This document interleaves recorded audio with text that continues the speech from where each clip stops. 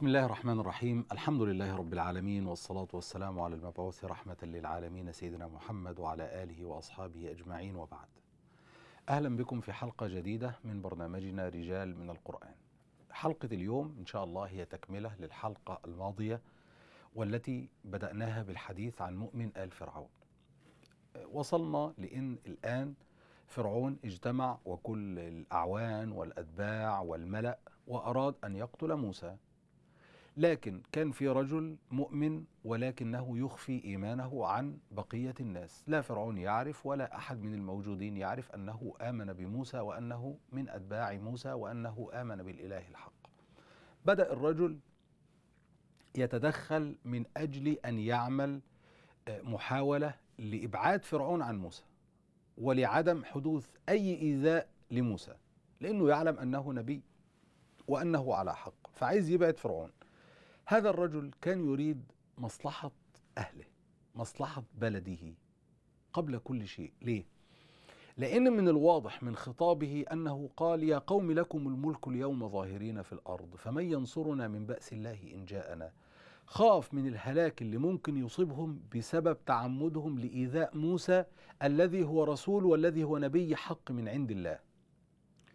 خطاب مؤمن آل فرعون كان خطاب عقلاني جدا معتمد على العقل. بيقول لهم لو موسى كذاب هو اللي هيتضرر من كذبه. وإن كان صادق فأخاف أن يصيبكم بعض الذي يعدكم من الوعيد الذي توعد الله به. كل من يكذبون أنبياءه ورسله وكل من يعتدون على أنبيائه وعلى رسله. فرعون تدخل أراد يعني أن هو يضع حد حاجز ما بين تأثير هذا الرجل المؤمن واللي مش ظاهر إن هو مؤمن لأن القوم وهم مجتمعين كانوا بينظروا لهذا الرجل على إنه واحد منهم واحد من أتباع فرعون لأنه رجل مصري قبطي ولأنه ابن عم فرعون. فمعروف أنه حينما يتكلم سيتكلم بالكلام اللي في مصلحة فرعون واللي في مصلحة البلد. فلذلك كان كلامه مسموع. فرعون خاف من تأثير هذا الرجل على القوم الموجودين. وهذا يدل أيضا أن فرعون كان يعمل حساب لمن هم موجودين معه وكان يستشيرهم بدليل أنه جمعهم وبيقول لهم ذروني أقتل موسى وليدعو ربه إني أخاف أن يبدل دينكم أو أن يظهر في الأرض الفساد. فرعون لما رأى أن في تأثير على هؤلاء القوم بدأ يفكرهم. أنسيتم من أنتم؟ أنا ربكم الأعلى. أنسيتم أنه لا إله غيري. فلذلك قال ما أريكم إلا ما أرى وما أهديكم إلا سبيل الرشاد. لا تنسون الإله والرب لا يمكن أبدا أن يخطئ لا يمكن أبدا أن يكون طريقه طريق غير سليم وغير قويم وغير مستقيم. فلا تنسوا هذا. فالمصريين القدماء مؤمنين باليوم الآخر. ذكاء الرجل المؤمن إن هو استغل هذا الإيمان. إزاي؟ قال لهم أنتوا خايف أنتوا مش فاكرين ان في يوم اسمه يوم التناد. يعني سينادى عليكم فيه اللي هو يوم القيامة. كل واحد سينادى عليه باسمه في هذا اليوم. ويعني لفتة بسيطة آه كثير منا بيعتقد إننا يوم القيامة هننادى باسمائنا وأسماء أمهاتنا. يعني يا فلان ابن فلانة. كثير من الناس أسمعها من الأمور الثقافية المنتشرة. طبعا هذا الكلام غير صحيح. بل العكس هو الصحيح اللي ورد. النبي صلى الله عليه وسلم قال في الحديث إنكم تدعون يوم القيامة بأسمائكم وأسماء آبائكم فأحسنوا أسماءكم. يعني اختياروا اختاروا أسماء طيبة وأسماء جميلة. وكان النبي بيحب الأسماء الجميلة ويغير الأسماء اللي فيها شدة واللي فيها عنف. آه علي بن أبي طالب لما ولد أول ولد له الحسن ابن علي رضي الله عنهما فالنبي ذهب وقال أروني ابني هذا ما سميتموه؟ فقال علي سميته حربا يا رسول الله. فقال بل هو حسن إن شاء الله. وأيضا حدث في الثاني أروني ابني هذا ما سميتموه؟ قال علي حسين حرب يا رسول الله. قال بل هو حسين إن شاء الله. فكان النبي يحب الأسماء الجميلة وذات مرة سأل جارية ما اسمك؟ قال قالت عاصية قال بل أنت جميلة. وكان النبي يعني يحب الأسماء الجميلة. فيوم القيامة هو يوم التناد اليوم اللي سينادى علينا فيه بأسمائنا وأسماء آبائنا. وأنتم يا معشر المصريين القدماء يا معشر الأقباط تؤمنون بهذا اليوم وتؤمنون بأن في يوم آخر. وأنكم ستقفون أمام الله وسيسألكم عن أفعالكم وسيحاسبكم. يوم تولون مدبرين ما لكم من الله من عاصم. من الذي سيحجبكم؟ من الذي سيعصمكم من الله سبحانه وتعالى؟ فإياكم أن تغركم قوتكم أن تغركم قوتكم وأن تتجبروا وأن تذهبوا لقتل موسى. إياكم إنه رسول من عند الله. هذا الإله الذي سيحاسبكم في الآخرة هو الذي أرسل إليكم موسى من أجل أن يذكركم بالآخرة. فشوف خطاب عقلاني خطاب في خوف على بلده وعلى وطنه ثم بعد ذلك خطاب عاطفي روحاني. لا تنسوا يوم القيامة. هتعيشوا كم سنة؟ مهما تعيشوا. مش في يوم آخر. ودي على فكرة رسالة لنا كلنا. رسالة لنا إحنا. مهما نعيش هنعيش. يعني؟ كم سنة ممكن نعيش؟ خمسين ستين سبعين ثمانين مئة. كم سنة ممكن نعيش؟ أقصى يعني أطول واحد شايفينه معمر على ظهر الأرض. وبعدين؟ مش في نهاية. مش في نقص بعد التمام. لكل شيء إذا ما تم نقصانه فلا يغر بطيب العيش إنسان إذا تم شيء, شيء بدأ نقصه ترقب زوالا إذا قيل تم. أول ما تعرف أن الأمور تمت واكتملت أعرف أنها بعد ذلك إلى نقصان وأعرف أنها إلى زوال. كل من في السماوات ومن في الأرض هالك وزائل لا يبقى إلا الله سبحانه وتعالى. فالرجل بيخاطبهم خطاب عاطفي. تذكروا هذا اليوم. وأنتم مؤمنون بالآخرة ومؤمنون بالبعث بعد الموت. كل كلام الرجل المؤمن يدل على إنه منهم ولا يدل على أنه من أتباع موسى ولا أنه آمن بموسى. ابدا ما في. يبقى اذا خطاب في منتهى الرقة. في منتهى العاطفة. هل فرعون سيترك هؤلاء يتأثرون بكلام الرجل المؤمن؟ ابدا. ده رجل يعني متكبر لأبعد درجة. ده لم يكتفي إن هو يكون يعني ملك ليس له نظير ولا مثيل لم يكتفي إن هو يكون مبعوث من عند الله. لا ده بيقول لك أنا الله أنا ربكم ما علمت لكم من إله غيري. فلذلك بدأ يذكرهم. يا مؤمن الفرعون أنت يا أيها المصري القبطي الذي منا تقول إن في يوم للتناد وفي يوم سنرجع فيه أمام الله. فرعون هنا يتدخل مباشرة وقال فرعون يا أيها الملأ ما علمت لكم من إله غيري؟ تنسيت ما في إله غيري. فأوقد لي يا هامان على الطين فاجعل لي صرحا لعلي أطلع إلى إله موسى وإني لأظنه من الكاذبين. وبدأ الاستكبار من فرعون. وجنوده يتبعونه هكذا دون أن يفكروا ودون أن يعقلوا ودون أن يفهموا ودون أن يفكروا في مصلحة بلدهم وفي مصلحة مجتمعهم. فرعون أصر إن هو يواجه سيدنا موسى. فرعون أصر أن يكون خصم لموسى. إيه اللي حصل وإيه العاقبة؟ وهل فرعون سيعاقب مباشرة على هذا العمل ولا ستترك أمامه فرصة لعله أن يفكر ولعله أن يرجع؟ ده اللي هنعرفه إن شاء الله بس بعد فاصل قصير.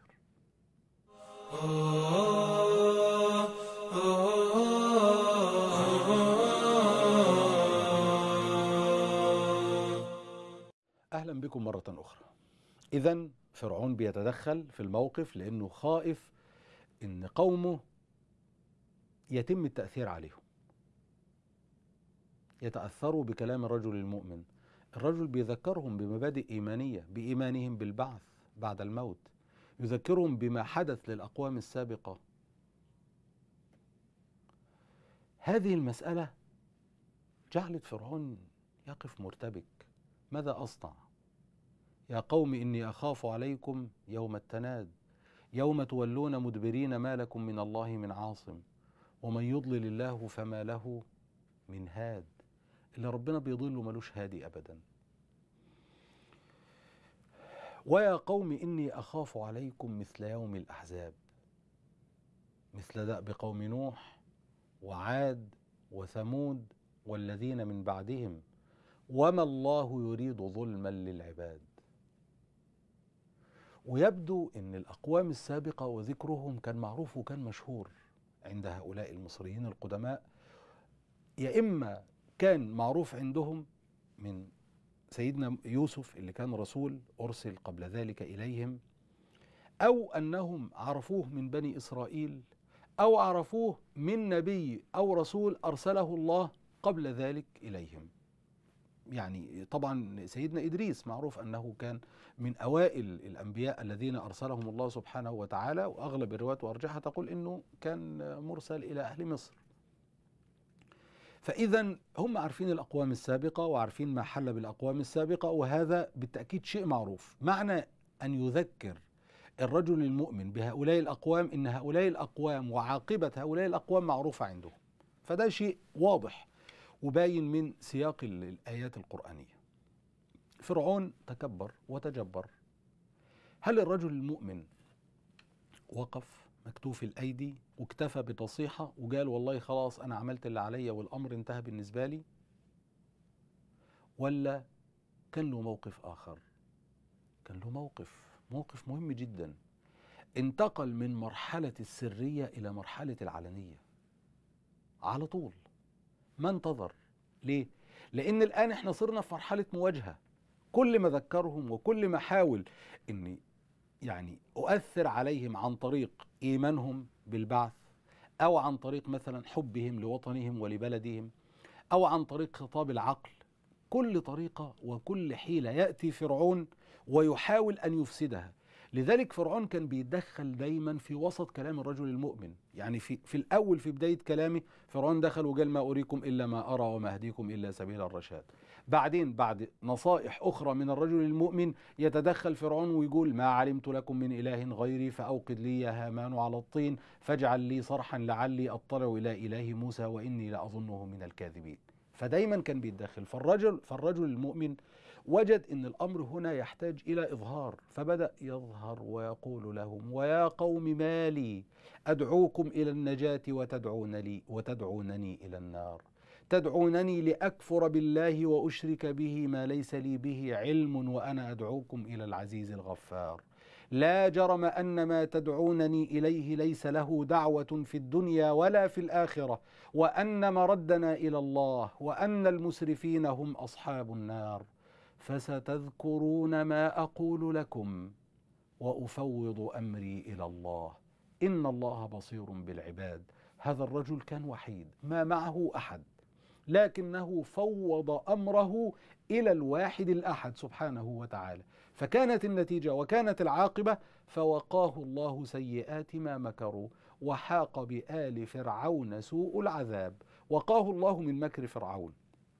سياق الآية يؤكد ويدل على أن الرجل المؤمن لم يتعرض لقتل من فرعون ولم يستطع فرعون أيضا أن يسلط عليه ولا أن يجعله يعني يتحول عن دينه ولا أن يقتله ولا غير ذلك. لأن الله يقول فوقاه الله سيئات ما مكروا. وكأنهم مكروا بهذا الرجل. وفرعون قال أنتهي من موسى الأول. وبعد ما أنتهي من موسى أرجع إلى هذا الخائن اللي بيزعم أنه معنا وأنه منا ولكنه من أتباع موسى. بعد أن أقضي على موسى أقضي عليه. بعد أن أقتل موسى أقتل ذلك الرجل. لكن تدبير ومكر الله سبحانه وتعالى فوق كل تدبير. ويمكرون ويمكر الله. والله خير الماكرين. إنهم يكيدون كيدا. وأكيد كيدا. فمهل الكافرين.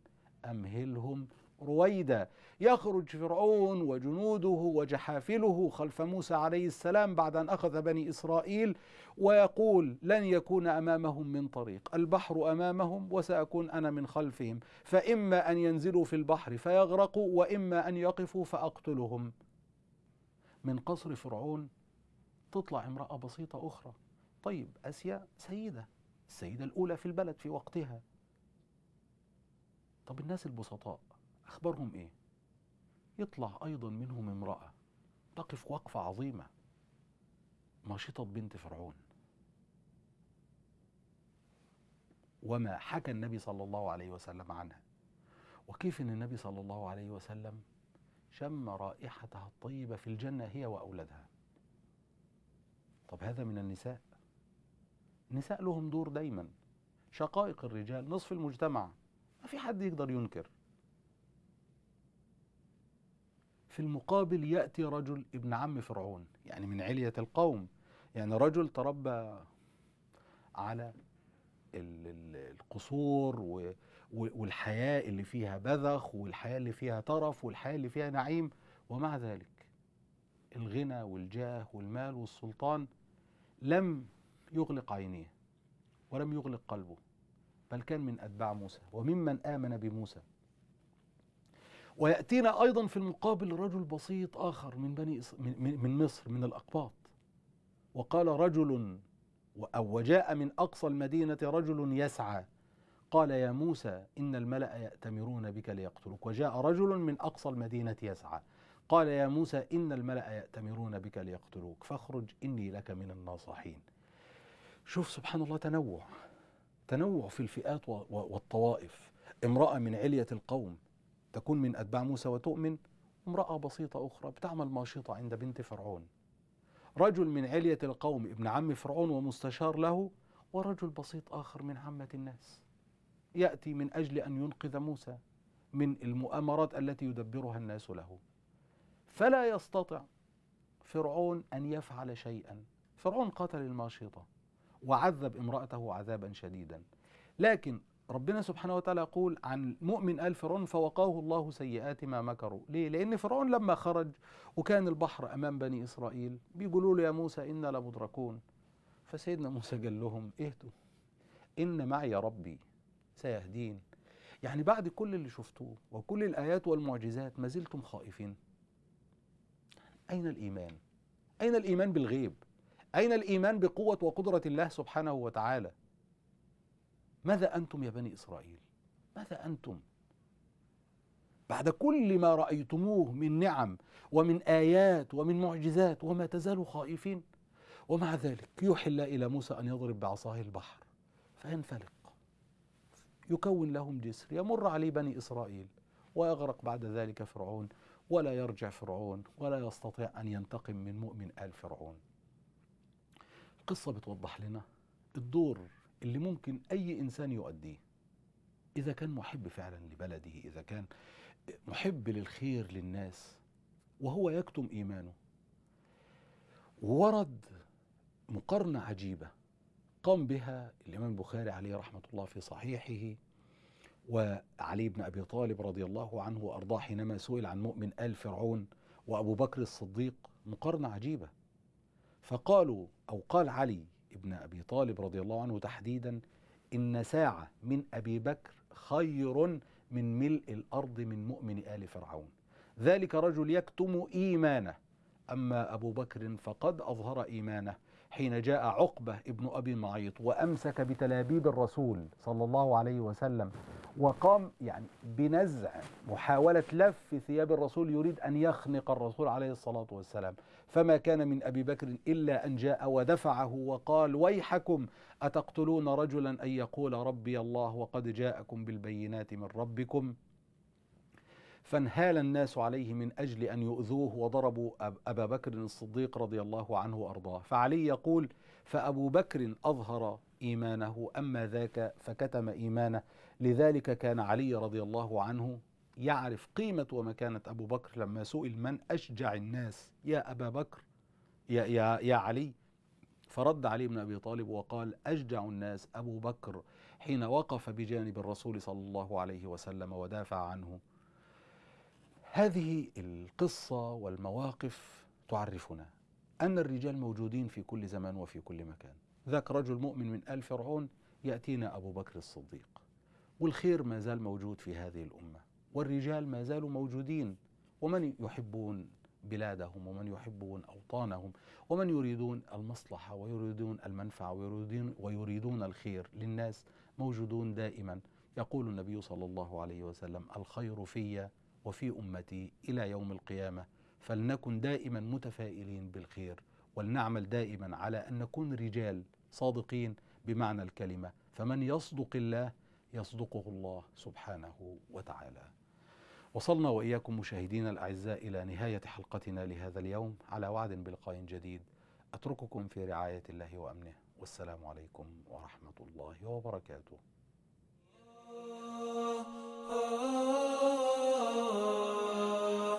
Oh